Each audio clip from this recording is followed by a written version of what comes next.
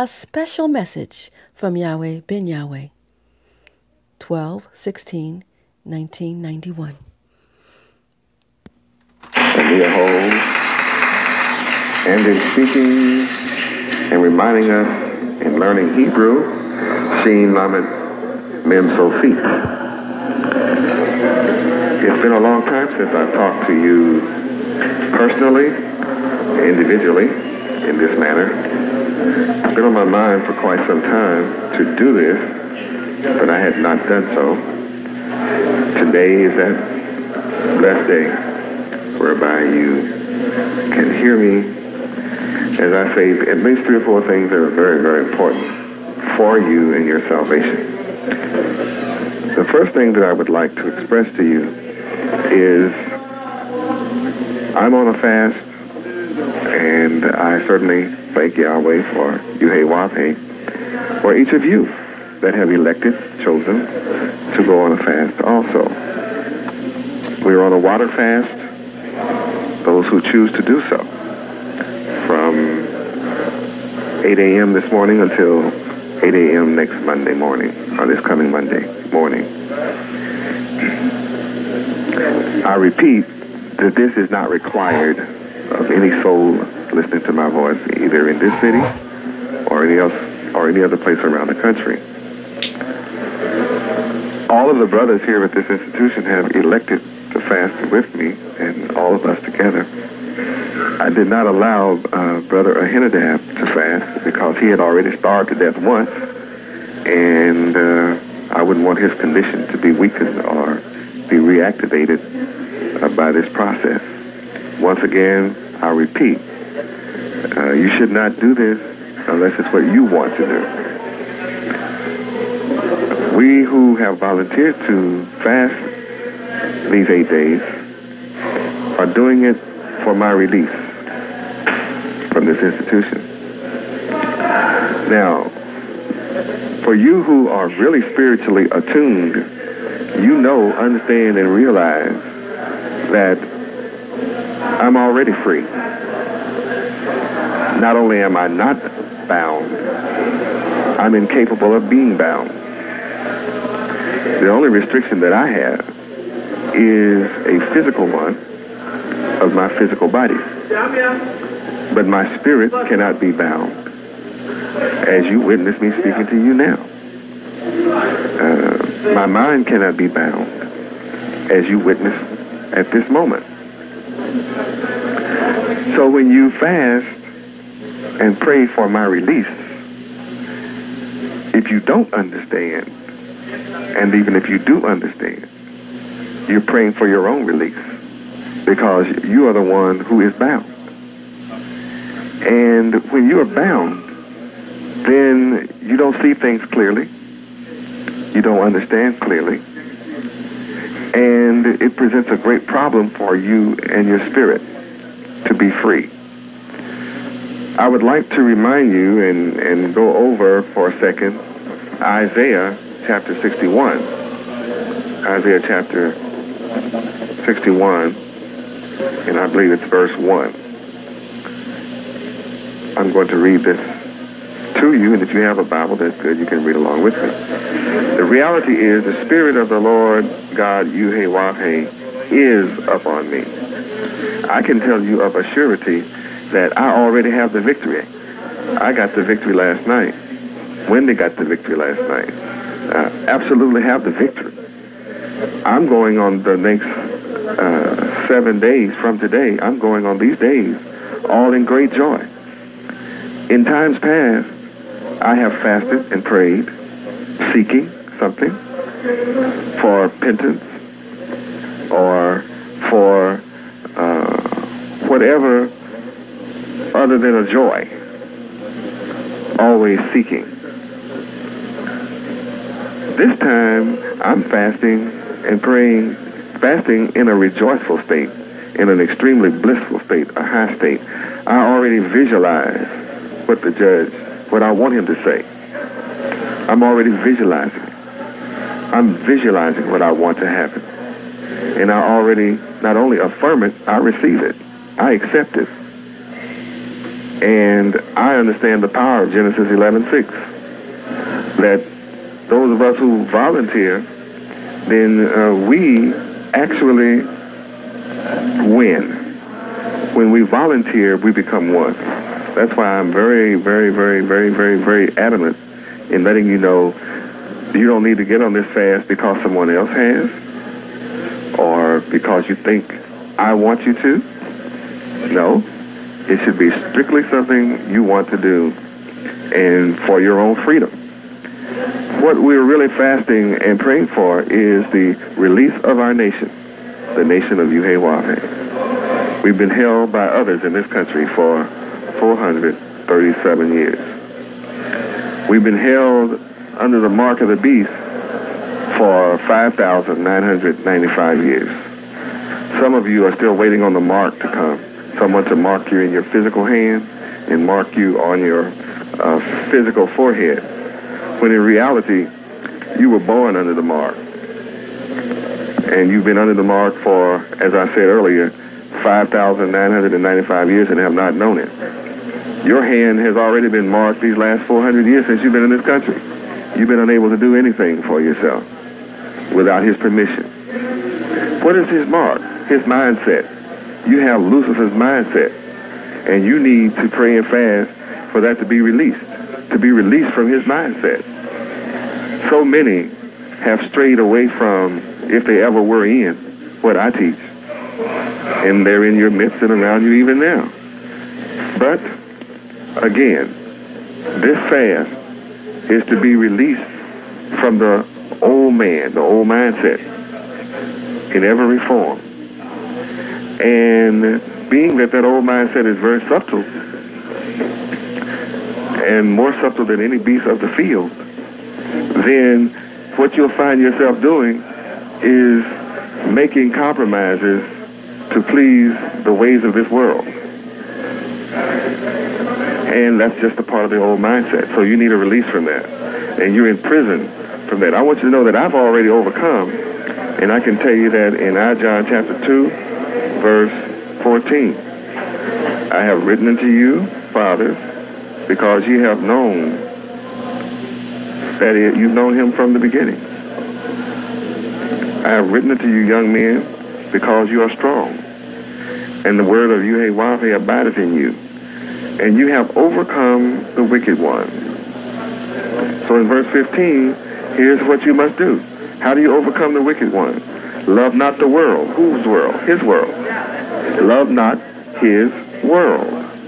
Neither the things that are in this world. That's what many of you love, is the things that's in this world. If any man love the world, then the love of the Father is not in him. The love of my Father, Yahweh, is just not in you. And I'm not going to jump on you with the external things that you do that proves you love this world but they're incongruent. Some of you think loving this world equates a car or a house or shoes or something like that. But we're talking about the absolute mindset. Uh, the, what are some of the things of this world? Sports, play, television, movies, uh, the things of this world. Uh, whatever the ideas that he uses to capture your attention and cause you to work to help him maintain his civilization, uh, which is atheistic civilization. Uh, those of you that love Yahweh are spiritual, and uh, you love spiritual things. Does that negate a house? No. Does that negate food? Of course not. But if you don't understand his world versus your world, then uh, as you begin to study your name in Hebrew, and begin to understand the words that comprise your name in Hebrew, then you will understand better what I'm talking about. Now, also, I mentioned a moment ago Isaiah chapter 61, verse 1. The Spirit of the Lord God, Yahweh, is upon me. And you need the Spirit of Yahweh upon you. Because the Lord Yahweh has anointed me to preach good tidings unto the meek. When you learn your name and come into the power of your name, you will preach good tidings also. As long as you sit back and feel that I'm the only one that is anointed with the Spirit of Yahweh, then you are still blind, deaf, dumb, ignorant, and dead to the power. In other words, you may walk around in the form of Yahweh while you're denying these powers that come from your name and from knowledge of your name. That's where it is. And uh, only you can learn the song that I'm teaching. And when I say you, I'm speaking of those who choose to be among the 144,000. It's strictly choice, just as you would choose to fast. You can't help me. You can only help yourself. I can help myself. I don't need you to help me. But you need plenty help because you're the one that's bound. I'm not bound. All your prayers can't bind me, and all your prayers together can't unbind me. That's my power and my authority. And I'm here to give you power to become. That's what that's what John uh, chapter 1, uh, verse uh, perhaps 10, verse 12, I come to give you the power. Let's go to John chapter 1, verse 12. But as many as receive me, it is to you that I give power to become the sons of Yahweh, even to you that believe on my name. Your name comes from my name. If you say you believe on my name and don't know your name, then you don't know who I am. As I've been teaching you for years, when you find out who you are, then and only then can you possibly know who I am. So if you don't know your name, you don't know me. If you don't have the knowledge of your name, you can't live your own attributes. Your name contains your attributes. Your name contains your power. So here I am, ready to give you the power to become the sons of Yahweh. But instead of you becoming, you are looking at me in awe and sitting there trusting in the knowledge that I possess instead of coming into the power that I'm offering you. This is what it is to become one. How can you become one with me and my Father as I am with my Father unless you come into the knowledge of your name? Because that's the only thing that connects you to me is your name. And only when you begin to study and master your name can you understand Yahweh. That's my name. Yahweh, Bathing Sophie, Yahweh. You can't understand any other way. Okay? There's no other way for him to understand. There's no other way for him to understand. Okay? Now, let us take you to um, Isaiah 61, verse 1 again. The Spirit of the Lord God Yahweh is upon me because he has anointed me to preach good tidings unto the meek. I am ready to anoint you, and I've given you to understand the importance of going into your name. Yahweh has sent me to bind up the brokenhearted this fast is to release your spirit so that you can learn how to bind up the brokenhearted. And you will automatically know how to bind up the brokenhearted. And will never sit around and not bind up the brokenhearted when you come into the knowledge of the power of your name and live yourself. You see, when, when you read, let me give you another secret. When you read uh, John chapter 1, verse 1, in the beginning was the Word and the Word was with Yahweh, and the Word was Yahweh. If you if you were conscious, then you would have already discovered long years ago that Word is synonymous with name. It's synonymous. And when you begin to come into the knowledge of your name, then you'll understand that's what I'm giving you right here from John chapter 1, verse 1. Is in the beginning was your name the Hebrew Aleph Bet. In the beginning was your name. And your name was with Yahweh And the name is Yahweh See, it's the name. I'm come publishing the name. I've taught you all along. Don't pay any attention to my body. That it's not about my body. And that those of you who may focus upon my body are missing the point. Perhaps you'd better close your eyes. Like tonight, you are forced to listen to my voice. So you, you don't have to worry about being confused in looking at my body. Now, I'm not going to stay here in prison physically forever just so you can uh, maybe wake up or start smelling the coffee. If you're going to meet me in Galilee, then you're going to follow my instructions and teaching that I've been giving you over the years, only now this is it. I'm announcing the bridegroom is coming. I'm announcing it loud and clear. You can be a wise virgin or a foolish one. And it doesn't matter. That's what you'll be. It's your choice as you would choose to fast. And we've had people just go hungry. There's no need for you to go hungry because you're not going to be blessed going hungry. And when you're not inclined to fast, then you'll worry about a lot of things, you know, like what you're going to eat tomorrow. you'll worry about, uh, oh, I have to do a lot of work and running. Oh, I have to go to go to my job. Uh, oh, I would fast, but uh, you know, there there'll be a lot of buts. So why carry yourself through hunger pains when it's not in your mind or your heart to do this? Do it only if you feel it. I repeat that. See, you, if I didn't speak to you tonight, you might go on the fast think you're doing it for me. No, no, no, no, no, no, no, no, no, no. When I want to do something for me, I fast for me. When I fast, it cleans my body, not yours. So when you fast, you're going to be cleaning your body. And see, it's not just the physical thing because the physical is a sign of the mental and the spiritual. So what you really need cleaning is your spirit, your mind. And you need to learn how to take on these attributes that I'm talking about. Isaiah 61, verse 1. I'm anointed to proclaim liberty to the captives. You've been captivated and been a captive of Lucifer's teachings and mindset for 5,995 years coming into the night. You need the victory over Lucifer's mindset.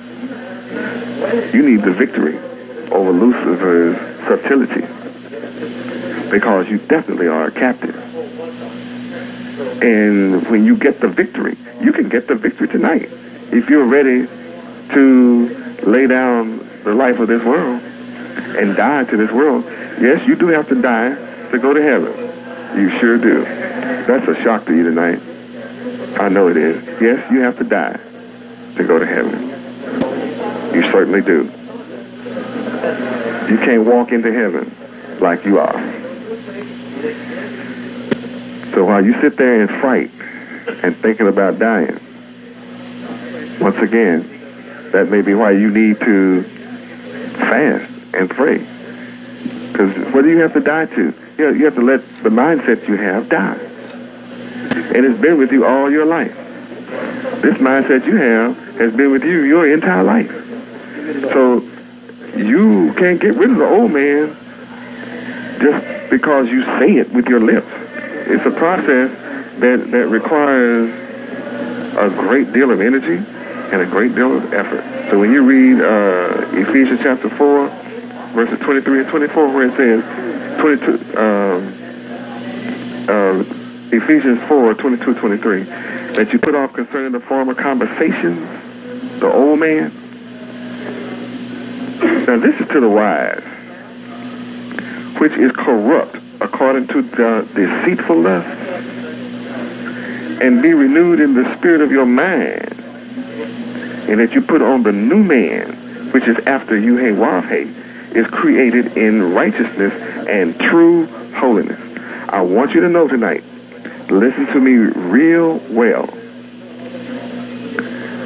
I made up my mind on last night that I'm going into my secret closet and pick up my holy robes that I laid aside and put in my secret closet to come and get you. And I've been walking among you without my holy robes for 12 years. Well, I'm picking them up and putting them on. And I'm going into the box and take out my starry crown and I'm putting it on my head. And I'm reaching into the box and picking up my scepter and it's in my right hand. And I'm going to sit on my holy throne in true holiness. And that's the only way I'm going to walk. And if you ever hope to be in my presence, you will certainly have to be an angel of Yahweh. And that's a fact. Because I'm definitely going to Galilee. And for you who think that's a physical place, you still have a serious problem. You need a new man real bad. You need to get rid of the, the deceitful lust real bad. Because it's a new mindset where I live, where I'm going, and where you're going to have to meet me. Am I going to get out of here physically? Of course I am. Of course I am. I've made up my mind to do so. And because I've made up my mind to do so, I am. And I know some of you will get so excited and you'll want to prepare for me to come home. And you can just see yourself now getting all this dinner ready, etc. And I may not be there. You see, the real feast is not physical. And none of you will be able to deceive me with a physical feast. In fact, I'm not going to allow an unclean person to fix a meal for me anyway. Some of you think unclean is when you're on the issue. I know.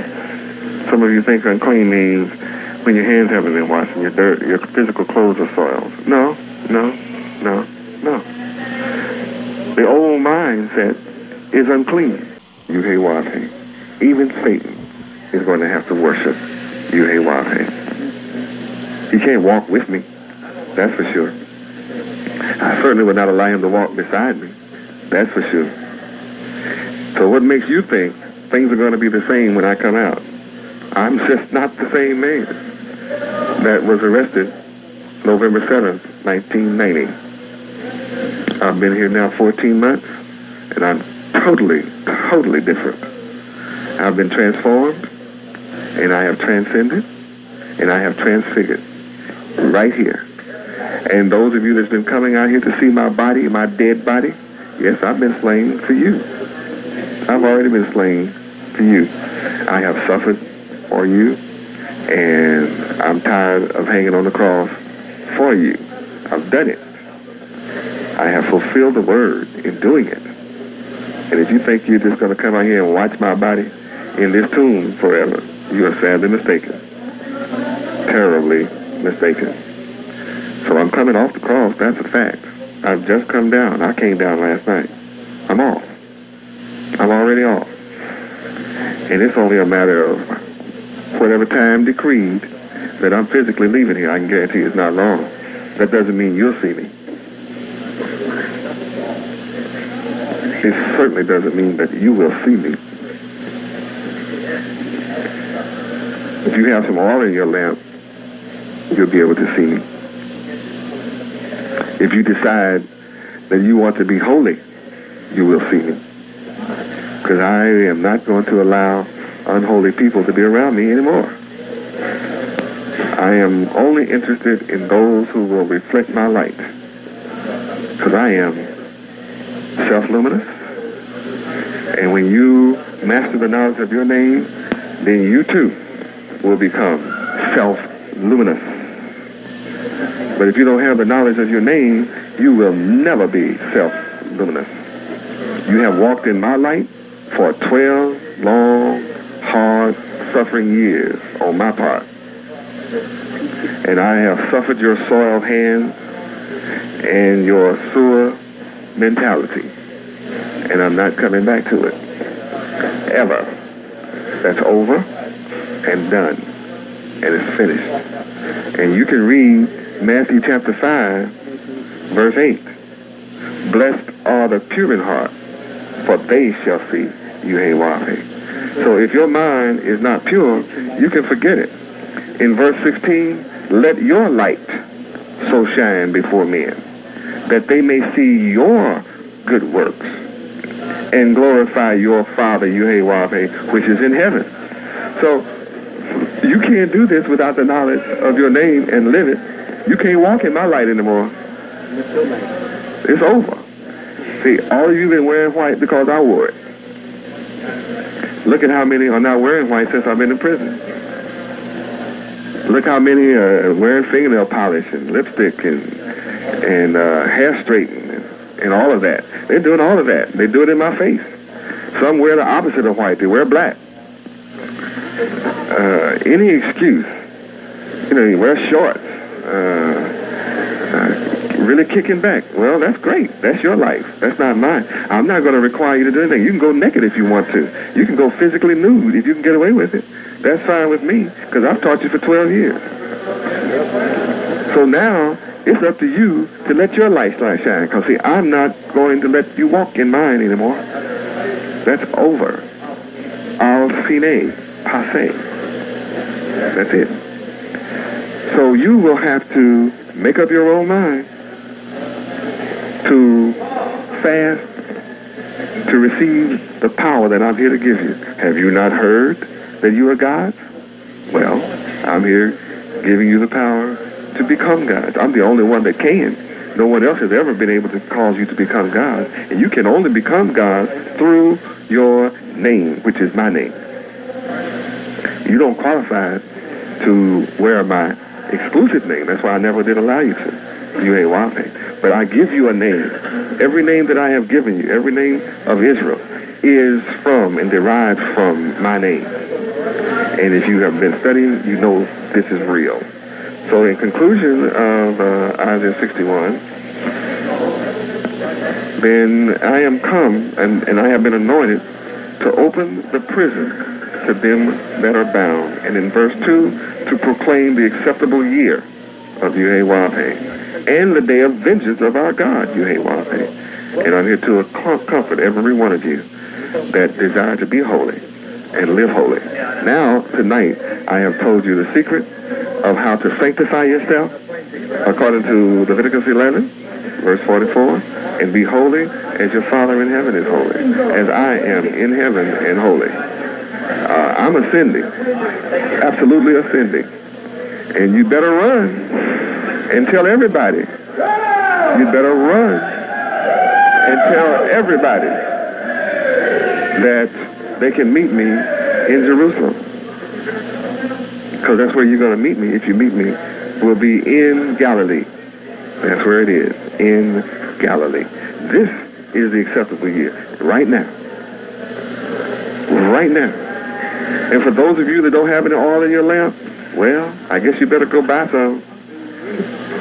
I guess you had better go buy some. Maybe there's somebody selling oil that will give you a light to walk around in as I'm teaching right now.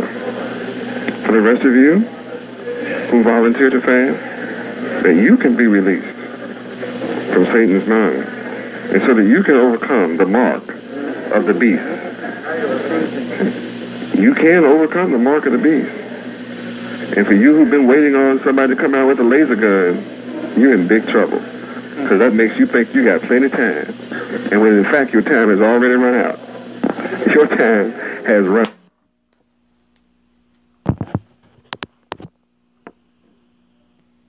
out now because you are under the mark of the beast and been under. His five power structure teachings are all his mark. And if you wanted to go into business, you have to put this number on, on, on the wall for how many years? All your life. It's called license. Tell you waiting on the mark. You can't drive an automobile without his number. It's on the back of your automobile. It's in your pocket. You've been under his mark all the time. And you've been suffering those boils and those sores and that torment.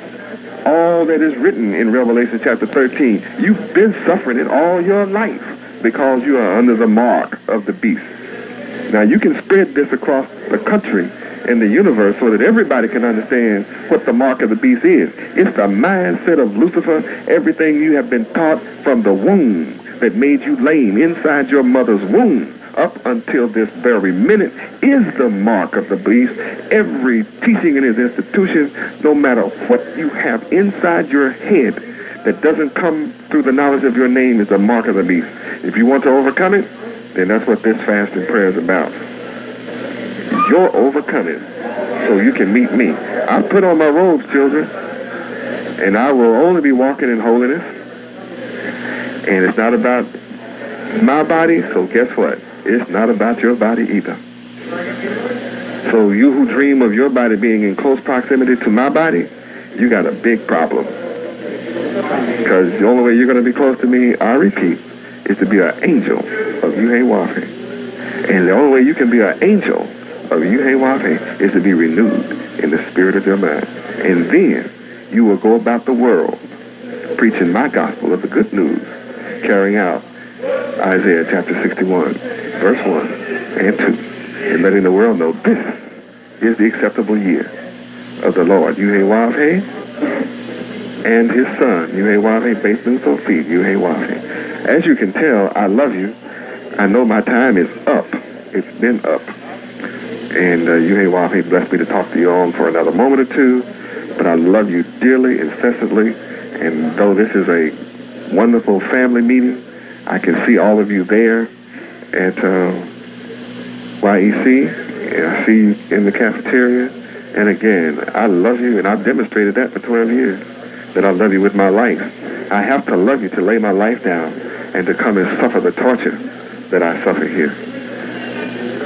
And you should be ashamed for making me suffer like this. You should be ashamed.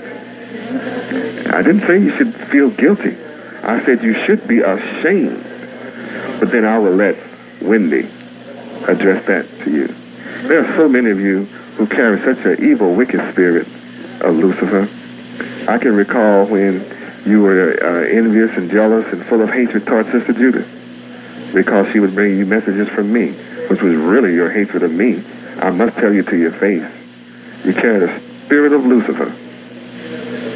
So Sister Judith has been removed from your presence. And you don't have any reason uh, to carry that wicked spirit that you carry. She's not in your face. She too is suffering for 14 months. Some of you have never written her a letter. And you say you love me. Some of you have never desired to see her. And then you say you love me. Some of you have never sent her a card or taken her a piece of fruit if you're allowed to, or expressed the desire to see her, and you say you love me. I remind you of another scripture. Whatever you do to the least one of mine, you do it to me. Remember I was in prison and you didn't come to see me? I was hungry and you didn't feed me? Well, whatever you do to the least one of mine, you do it to me. The brothers that are here with me, oh, it's easy for you to see them or even be on their list because they're here with me. But that sister is isolated and all alone physically for 14 months. And she's showing strength and perseverance. And though those that came from her womb, supposedly her son, wired up for the enemy to destroy their mom. That even white lawyers said it's disgusting. It's despicable. And some of you sitting there are disgusting. And you are despicable. Because you've hated that sister through the years because of her talents and gifts and abilities and working to help build the kingdom. She's out of your way, so you can't focus on her. So guess what you've done? Now you focus on Wendy because she's an investigative attorney doing a job that other attorneys didn't have time to do, or maybe the will to do. That sister gave up her home, her husband, her profession, her job, her practice, to come and work for your release. And some of you have nerve to hate that sister, to dislike her, and to actively work against her, thinking you are working against her She's your new Sister J, I guess. But it's your loss to your soul, and you're the one damned for it. Because you will work against anyone that will come to work and help me. And you're damned for it. You need to fast and pray real quick and seek a lot of forgiveness.